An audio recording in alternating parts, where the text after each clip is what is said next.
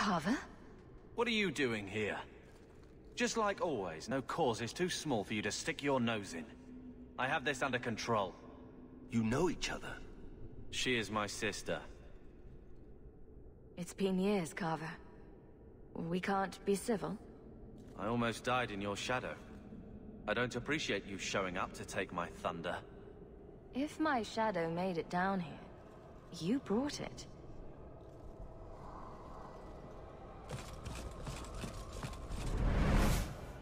We don't have time for this. The Darkspawn approach.